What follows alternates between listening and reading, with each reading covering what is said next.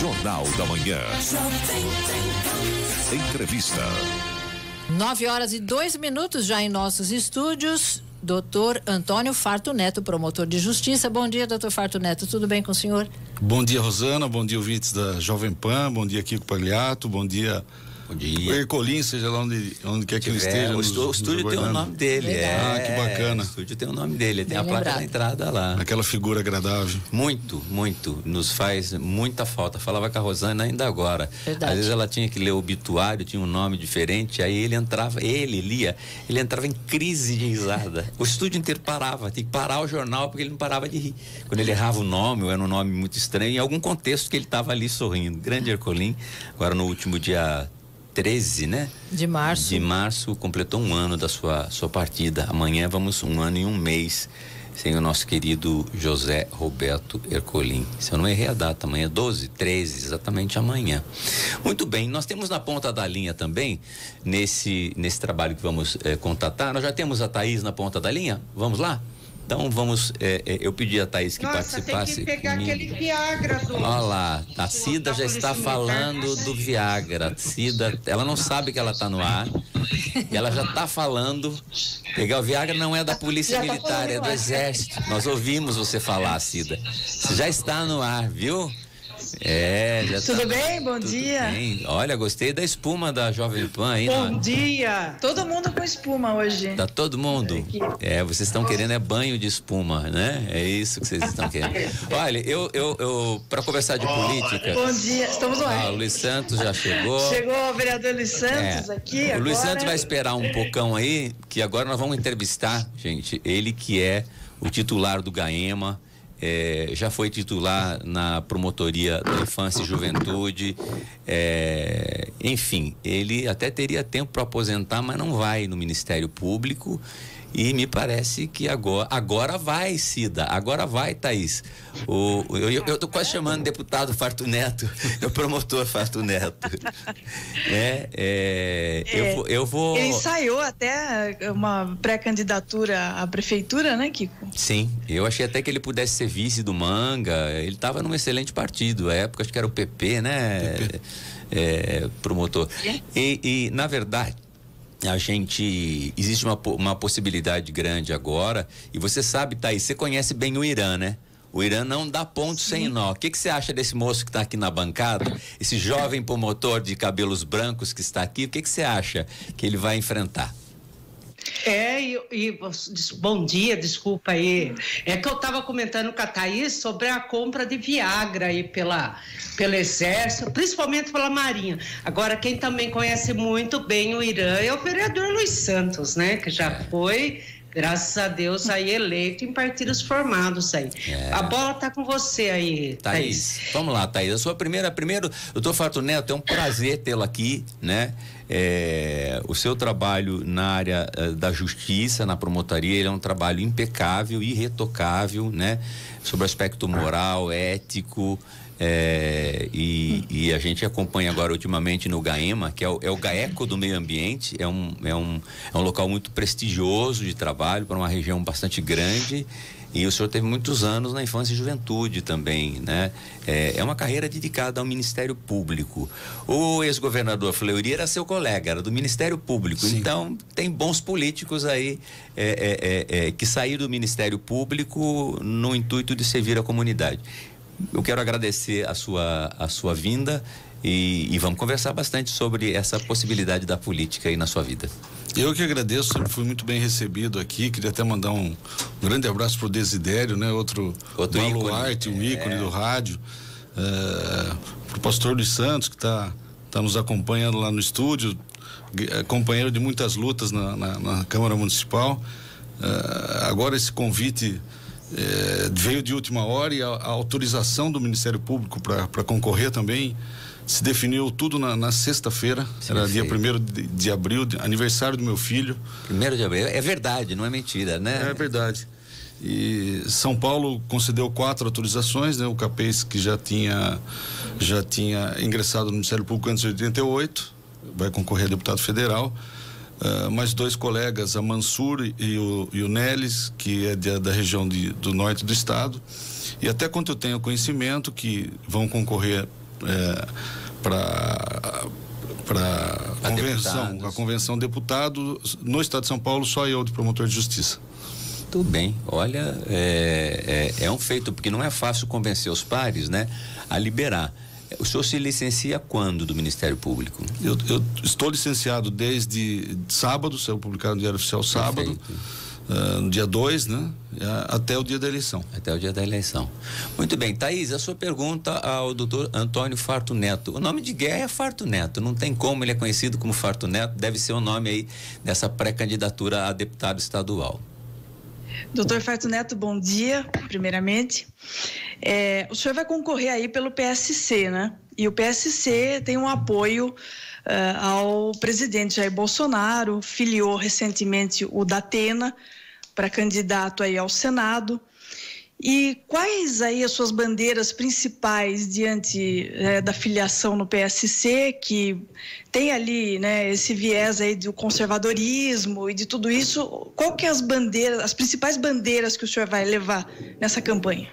Eu tenho uma história ligada ao, ao, Ministério Público que me coloca num, numa condição, ao longo dos anos, extremamente imparcial. É, no momento em que se decide é, desligar do Ministério Público e concorrer a, uma eleição, na eleição nós acabamos tendo uma espécie de divisão. O próprio partido já é um sinônimo de divisão. Uh, o PSC, dos partidos que eu que conversaram comigo, é um partido é, conservador, um partido de direita que vai apoiar o presidente da República, Bolsonaro, Bolsonaro vai apoiar o, o nosso ministro Tarcísio, para governador, né? É, é, uma linha com a qual é, ideologicamente eu, eu, eu me, me apoio hoje, né? Tem o apoio do deputado federal Giga Peixoto, que sempre insistiu também para meu ingresso na política. Na época daquela, daquela cogitação do meu nome a, a prefeito, tinha apoio do capitão Derrite, intensamente, eh, do Danilo Balas, que na época deputado estadual também. Nós, eh, o, o, o sentimento, Kiko, é de renovação na política. As pessoas eh, anseiam, pelo menos as pessoas com as quais eu convivo, com, quais, com as quais eu converso, sempre dizem da falta de nomes novos a ingressar na política para desenvolver um trabalho. Eu acredito que o trabalho legislativo envolve primeiro um pouco de conhecimento técnico do processo legislativo para claro. transitar bem nos bastidores da Assembleia Legislativa a necessidade de um mínimo de conhecimento técnico para trazer recursos para Sorocaba. sobra, né? Na, na, atividade jurídica do direito, é, foi sua vida, né? Foi. Aí, é sua vida. A, né? a composição de comissões, é, a, a, votação e a preparação do orçamento do Estado de São Paulo, que é o depois da União, o maior orçamento. É a joia do... da coroa. Exatamente. E a minha ideia é justamente puxar a azeitona para a empada de Sorocaba, quer dizer. E deixa eu completar essa pergunta da Thaís. O Irã é um político eh, na área local muito articulado, sempre montou chapas vitoriosas, é, é, que teve vereadores compondo a Câmara Municipal nos últimos anos. Né?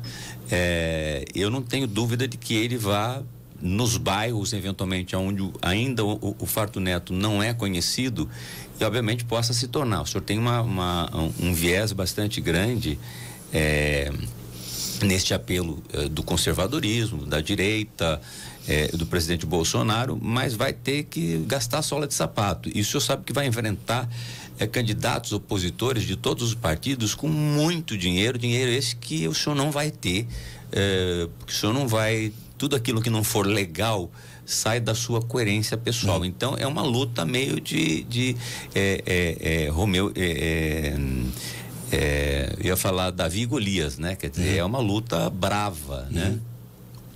Sem dúvida, é um, ingressar no universo político é muito difícil, porque toda a legislação ela foi criada para manutenção do status quo, ela foi criada para manutenção dos políticos que já se encontram. Com certeza. Quer dizer, quem tem um mandato tem uma assessoria, tem uma verba parlamentar que já permite ao longo de quatro anos desenvolver um trabalho de massificação do seu nome.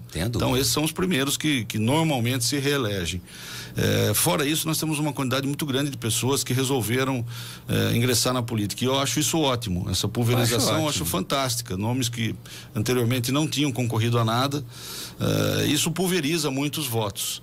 É, conseguir a melhor concentração de votos vai também do quociente eleitoral. Pensei nisso quando escolhi o partido, quando Perfeito. fui aceito pelo partido. É, ele tem uma ideologia que o senhor eh, se alinhava e também uma condição de, de, de, é, de números para chegar é, que o agradaram, né? E eu creio que o partido me acolheu também. Eu tive já mais uma reunião com o Irã, ele vinha comigo hoje para nós conversarmos. Tenho certeza que ele ia ter no, no, na manga do colete alguns. Eu não tenho dúvida alguns, que ele deve ter. Ele não chamou o senhor para não ter manga no colete. e, e, a ideia é realmente levar meu nome para as pessoas que não conhecem. Hoje nós temos as redes sociais. Só para te dar uma ideia, que eu, você conhece a minha irmã, não sei se ela já te disse esse detalhe, né? Mas eu nunca tive rede social. Estudamos juntos, eu e a, Lu, eu e a Lucien. Poxa, que bacana. E na, eu até quero que vocês voltem na Faculdade de Direito para conhecer as reformas pois é, que foram feitas. o senhor é conselheiro feitas. lá, eu preciso conhecer, ficou maravilhoso. Eu vi uma postagem do nosso diretor, doutor Dante Catuso Júnior, e, e via foto, falei, nossa, é um auditório, não, é todas as salas de aula estão naquele padrão. Realmente. O Dante mandou um abraço pro Dante, o Dante não tinha cabelo branco, ele não tinha um fio de cabelo branco quando começou a reforma. tá, Cida, a sua pergunta ao doutor Fato Neto. Bom dia novamente. Doutor Fato Neto, eu sempre admirei muito o senhor principalmente na questão do trato com a criança e o adolescente. Me diga uma coisa, doutor, é como que o senhor vê essa questão hoje e né? Claro que o senhor sendo candidato sonha em ser eleito. O que, que o senhor poderia propor nesse sentido para que cada vez mais a criança e o adolescente sejam protegidos? Por exemplo, hoje o Francisco entrevistando o secretário de Cidadania, ele falava sobre a, a proteção das crianças aí não, não irem para o trabalho, né? E o que a gente vê cada vez mais, principalmente nesses últimos dois anos, foi exatamente o quê? Criança, muitas vezes de 8, 10 anos, vendendo nos semáforos. E Cida, prazer em ouvi-la. É, parece que a pandemia nos afastou de certa forma, né? Eu encontrava mais a Cida, uh, às vezes na Câmara Municipal, é. quando ia falar lá. Agora ou ela está desaparecida. Agora ela está aparecida. Eu não me lembro se foi você, Cida, fez uma pergunta para mim que me toca bastante. Eu acho que essa é uma questão que precisa ser bem resolvida no Estado de São Paulo e o âmbito de atuação do deputado estadual é o Estado de São Paulo. É, eu, como pré-candidato, é, tenho isso comigo muito forte. É a questão da adoção. É, hoje, para adotar uma criança no Estado de São Paulo, na maioria dos municípios, os casais fi, ficam é, inscritos, aguardando na fila três, quatro, cinco anos. Uh, nós temos uma quantidade muito grande de crianças, um pouco maiores, de 3, de 4, de 5, de 6 anos, que estão já disponíveis para adoção e nem sempre uh, a Justiça uh, da Infância e Juventude consegue aproximar as crianças das pessoas que podem adotar, dos, dos, dos potenciais casais ou pessoas eh, que gostariam de adotar. É, uma, uma coisa que eu vejo nisso também, desde a época que eu estava na infância e juventude, é que sempre se trabalhou com um distanciamento. Aquela pessoa que quer adotar, ela não pode ficar visitando o abrigo para não parecer que ela está escolhendo uma criança. Isso veio na cultura do Estatuto da Criança e do Adolescente e, de certa forma, é, a burocracia do sistema desestimula casais que eventualmente poderiam vir a adotar crianças a fazê-lo. Outra questão que é muito que é muito Mas aí é uma lei federal, né, doutor Fábio? É, é, uma lei é uma lei federal, mas Eu sei porque a minha filha, vou até fazer um adendo, pelo claro. desculpa a interrupção. Eu falava com a minha filha esse final de semana, ela falou: "Pai, eu não hoje não vou sair à noite, no sábado, e vendi um convite que eu tinha para um evento, não vou". Aí no dia seguinte ela falou: "Ai, pai, eu vou fazer um trabalho social com a faculdade dela". E foi para um orfanato. Ela falou, pai, eu saí destruída. Tem uma criancinha de dois anos, uma menininha. Ela pulou no meu pescoço e não largava. Eu saí tão mal, né? É, não é mal, é mal porque você vê a realidade de tantas crianças sem pai, sem mãe e com uma dificuldade é, é, é de alguém que, se não tiver a alçada da Assembleia, um deputado tem força para fazer barulho e tentar mudar onde quer que seja é, esse tipo de lei ou fazer com que as questões sejam é, é, é, discutidas, né, doutor? Eu, eu, penso o seguinte, que quando, quando a gente vai praticar esporte, você entende de esporte, apesar de ter sido péssimo nos esportes. Eu, eu tive mais cartola. A única coisa que eu, que, eu, que eu tive de esporte foi jogar tênis de mesa. Mas é, eu tento entrar dentro da regra do jogo. Não adianta querer mudar a regra do jogo antes de entrar. Eu penso o seguinte: com a regra do jogo que está posta, nós temos o Cadastro Nacional de Adoção, que é válido, que é importante, que claro. deveria fomentar uh, essa facilidade de, de, de, de adoção de casais, inclusive de outros estados, pessoas de outros estados para não deixar crianças na fila de adoção, é, por diversos fatores burocráticos, ele não funciona. Então, minha ideia é, se, se eventualmente eu vir a ser escolhido na, na, nossa convenção e eu possa vir a ser candidato a deputado, eu posso articular muito no estado de São Jesus Paulo. Jesus falava quando ele ia curar: você quer? Quero. Eu quero, é isso aí. Você tem que querer, né? Sim, sem dúvida. Não, não, né? não estaria aqui, não tenho medo de me molhar, não tenho medo claro. de sair na chuva e não, claro. e não me molhar. É, já estou numa atuação pública. Eu acho que nós podemos articular muito com as varas de infância e juventude é, para desburocratizar o máximo, para agilizar o processo. São dois processos. Um de destituição do poder familiar, que precisa correr num curto prazo de tempo.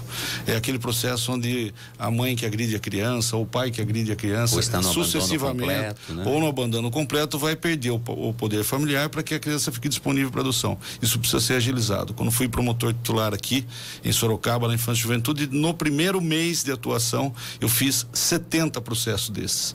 Teve um até que era interessante, que, que envolvia duas gerações. A avó estava sendo destituída do poder familiar da filha, que era adolescente e já tinha uma filha que tinha abandonado também e estava sendo destituída.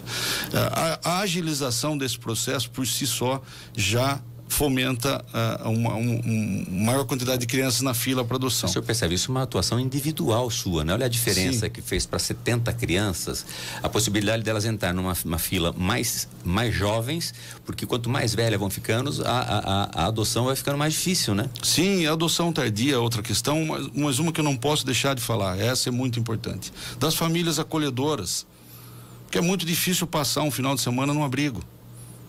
Eu sei que é difícil também para aquela criança que já é um pouco maior, ela sai do abrigo, vai para sua casa, por exemplo, vai lá, participa, convive com a sua família, ela, ela, ela vive numa outra realidade. Vive numa outra é depois, eventualmente, ela tem que voltar para o abrigo. É, apesar de ser triste essa realidade, eu acho que isso traz o um engajamento social tanto para essa família que recebe quanto para a criança, que precisava ser mais Pode estimulado. estimular a adoção de crianças maiores, de repente. Ainda né? que não seja você, às vezes um amigo que está na sua casa, naquele dia justamente Pode acaba se sensibilizar, se sensibilizar. e querer uma criança maior, né? Sim, sim. Ou, ou, seja, nós temos mecanismos a desenvolver que possam facilitar essa situação na infância e juventude. Esse é um exemplo, Cida. Tem, dá para ficar horas aqui falando sobre o que pode ser feito. Eu gostaria. Agora, pode falar. Feto, pode falar, Thaís. Claro que pode. Doutor Feto Neto, é, o senhor já tem dobradas definidas? É, no estado de São Paulo, como que ficou definido isso? O senhor tem uma proximidade com o deputado federal Capitão Derrite, é, e, e, as outras dobradas, né? Existiria essa possibilidade com o derrite? Existe já alguma coisa definida nesse sentido? Eu estou numa fase de pré-candidatura. Nessa fase de pré-candidatura, eu estou me apresentando, eu estou conhecendo as pessoas do partido, algumas pessoas não me conheciam pessoalmente. É, eu estou ouvindo, tive com o capitão Derrite na semana passada, tive diversas vezes com o Giga Peixoto também. É, encontrei o Vitor Lipe na, na, na, festa da Soiaba, conversamos por, longamente. Eu penso que o meu nome não agride não, e não ocupa espaço de nenhum desses, não, de, de um desses deputados também. federais. Eu sempre tive a impressão que Sorocaba precisa e deve ter, num, num, num, num número de eleitores, 480 mil eleitores, pelo menos quatro ou cinco deputados estaduais. Eu acho que nós precisamos ficar representados Se não distribuir para a ave de arribação que vem aqui só para ter voto, obviamente que o senhor consegue ter uma, uma votação expressiva. Obviamente que vai precisar de voto em Votorantim, voto em toda a região para um pouco aqui, um pouco lá. Então não, somar, não né? existe nenhuma dobrada definida ainda, uma, uma pré-conversa, pelo menos com alguém, é, com uma dobrada mais forte com um determinado candidato, pré-candidato a, a, federal? Eu, eu tenho recebido muito apoio do Giga Peixoto, tenho recebido um apoio assim que eu não imaginava imaginável, é um político de nova geração também, está na primeira legislatura. É, é, eu acho que é muito cedo para mim é, entender ainda esse universo político. Né? Você pra... sabe que isso tem que, tem que ser rápido, sim, né? Você tem esse sim, mês, sim. vai ter que entender como o senhor entende de promotoria. Sim. É que nem os 70 processos que o senhor fez para agilizar a adoção lá, né? Fazer as articulações necessárias. Tempo, né? Sim, temos que fazer as articulações necessárias. Eu, a sensação. É, saiu domingo, né? Liberou domingo do Ministério é, Público. Não é. dá para fazer campanha estando dentro do É, eu, e outra, nem posso, né? Eu não é. posso. Eu, eu, eu sou um pré-candidato, estou me colocando para o meu nome para ser disputado na, na convenção. E eu acho assim, sou bem aceito, Kiko com as pessoas que eu tenho conversado, com os empresários que eu tenho conversado, vejo essa, essa vontade de renovação, eu vejo, eu, eu vejo a confiança que meu nome trouxe ao, pelo meu trabalho. O senhor, é, o senhor pertence a uma das, das lojas maçônicas mais tradicionais da, da cidade, que é a Perseverança Terceira, que é mantenedora da rádio, da Fundação Cruzeiro do Sul, da Rádio uh, Cruzeiro do Sul, também do Jornal Cruzeiro do Sul, do Portal, do Colégio Politécnico, ou seja, há um número de colegas, de irmãos muito grande. O senhor sentiu essa receptividade também? Também nesse grupo em, em favorecer um apoio à sua pré-candidatura? Olha, eu vou te contar algo que não, não, não fere o, o sigilo maçônico, né? O, o, o Laelso Rodrigues, ele foi fez por, noventinha, hein, noventinha. Agora, é. Nosso querido irmão, para nós um eterno aprendiz, né? O Laelso Rodrigues é, foi deputado federal maçônico por muitos anos muitos anos. O cargo eh, onde ele é muito querido no Brasil era no cargo de deputado federal maçônico. Uh, por estar no cargo de deputado federal esse maçônico... dobra com o senhor, né? Então, esse dobra, esse, né? Esse, eu, eu, esse, esse, A dobrada é garantida. Eu não diria nem que dobra, eu diria que quadriplica. É, isso aí.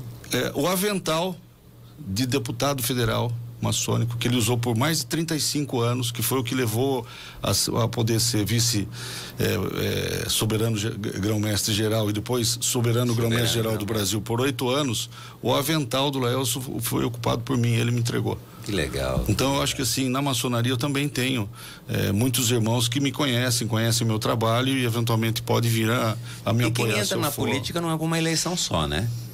O Lula vai ganhar dele foi Sim. quatro vezes, né? É, é, o vencer ou não vencer, às vezes dentro de um primeiro pleito, embora só tenha toda a chance da vitória, mas é, existe, obviamente, é, todas as possibilidades, né? E eu acho que se eu só apresento o nome, vai fortalecendo ele para o futuro, né? Para tudo, para tudo tem que se entrar preparado para perder.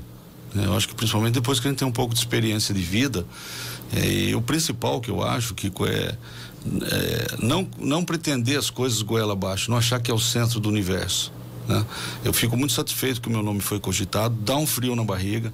Eu tinha estabilidade na minha carreira, na minha profissão, um trabalho reconhecido que eu que eu estava fortalecendo com muita alegria no, no, no, meio ambiente, porque é mais leve do que trabalhar com infância e juventude. Eu fiquei três anos no GAECO nós, nós fizemos uh, processos aqui com prisão de fiscais que não, não, não se tem notícia na história. É, é verdade. Né? Isso tudo é, é bastante agressivo para quem é. trabalha.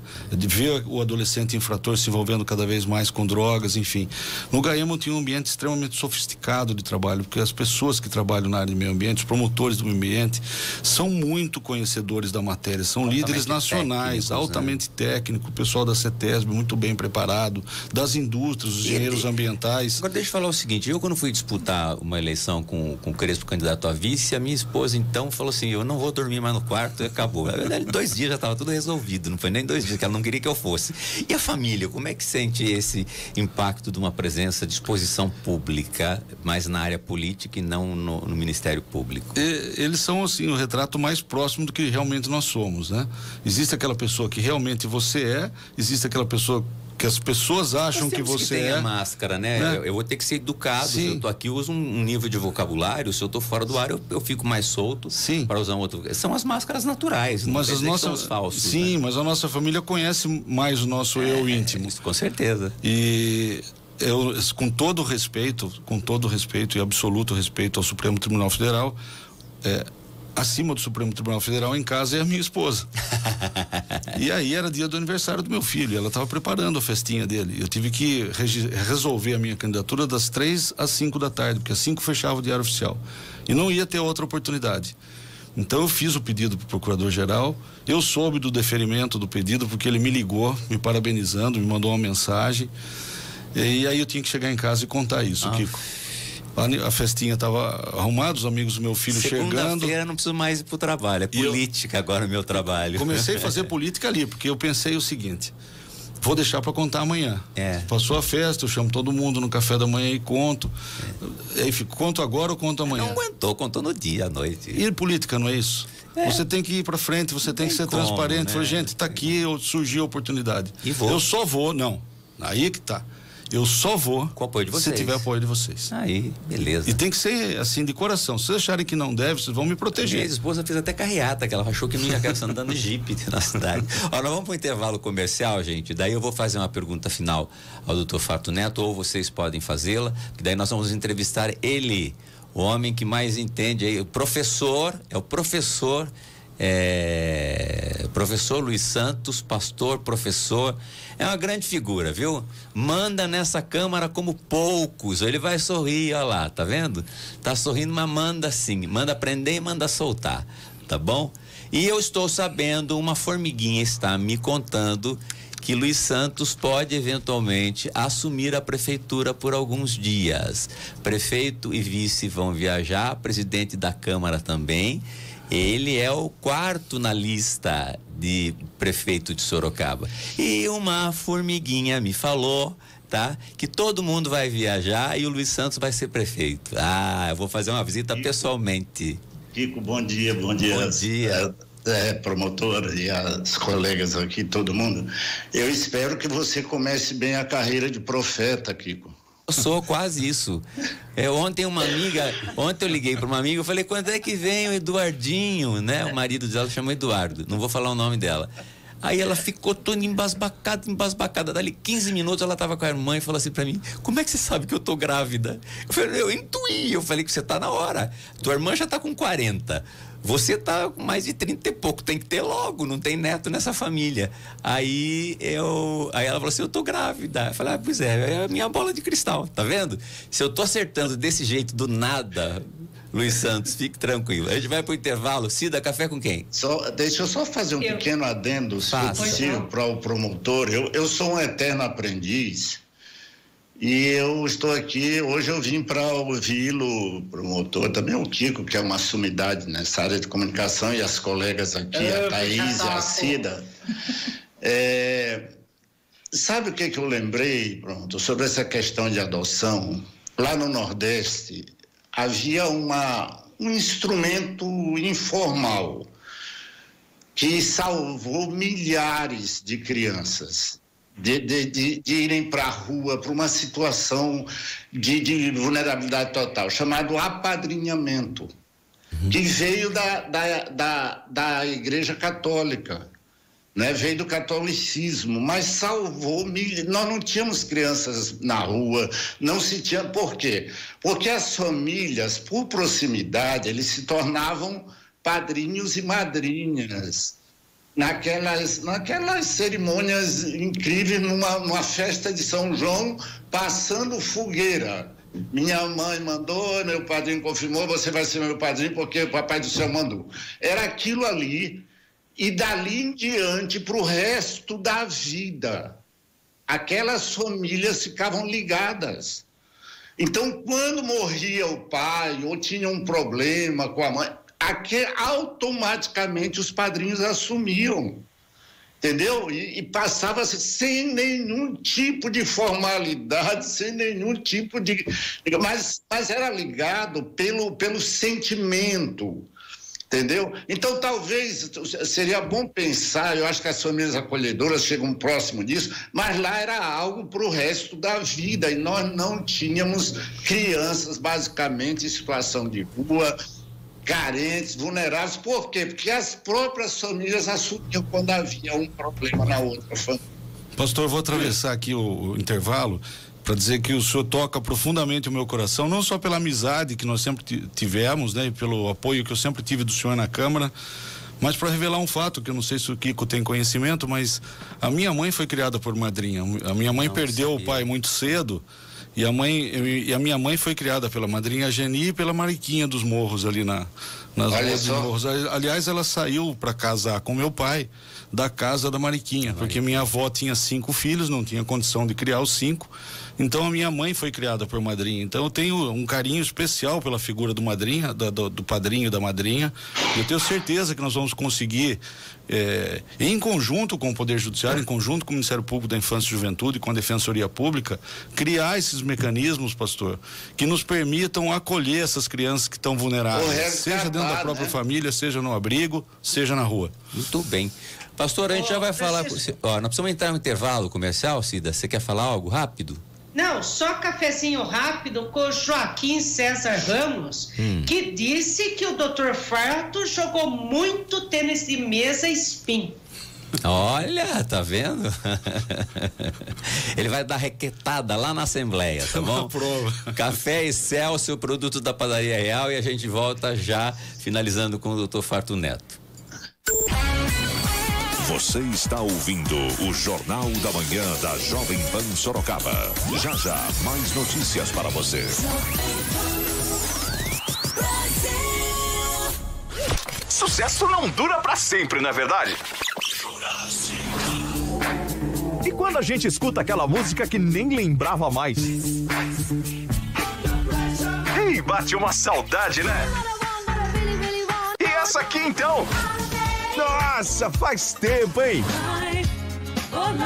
Essas e outros sucessos do passado. E que você ainda curte. É só aqui, meu jovem. Jurassic Park.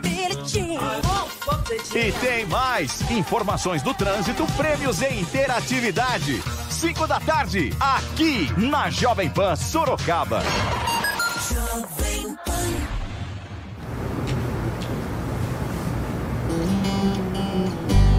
Vez de ficar sonhando com dinheiro, pense em mim, poupe em mim, guarde din-din, meu amigo parceiro. Vamos pegar o primeiro milhão, com destino à felicidade, a felicidade. É poupar no Sicredi. Poupança premiada Sicredi. Economize todo mês e concorra a milhões em prêmios com destino à felicidade.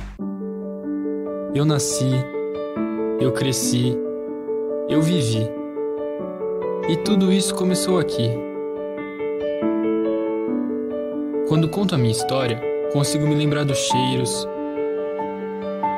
sensações, sorrisos e do colo que tantas vezes me acolheu.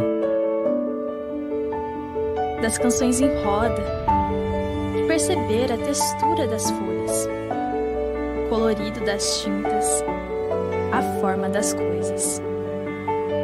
Eu me lembro do primeiro presente que eu fiz para minha família e de como eu ficava ansiosa para chegar em casa e contar tudo que eu aprendi, tudo que conheci e como aquilo era fantástico. Eu me lembro do frio na barriga a cada apresentação. Foi aqui onde pude praticar meus princípios e a me entender como um agente importante na sociedade, no meio ambiente e que podemos ser cada dia melhores para nós mesmos, para o outro e para o planeta Terra. Eu brinquei.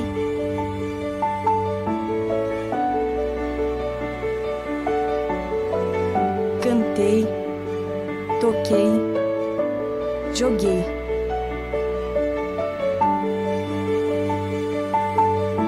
Fiz amigos, conheci lugares e pratiquei esportes que eu nem imaginaria praticar. Aprendi que não existem conquistas sem esforço, persistência, sem dedicação. Mas tudo que eu vivi me preparou para elas. Esse é apenas o começo da jornada e com certeza ela está sendo incrível.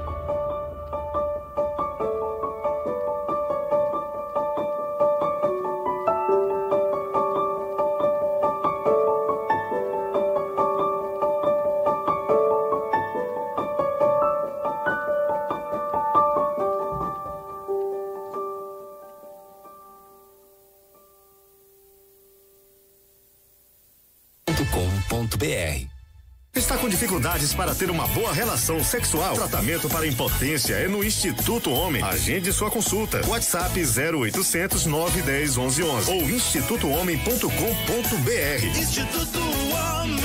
Doutor Flávio Machado, 196137. Notícia.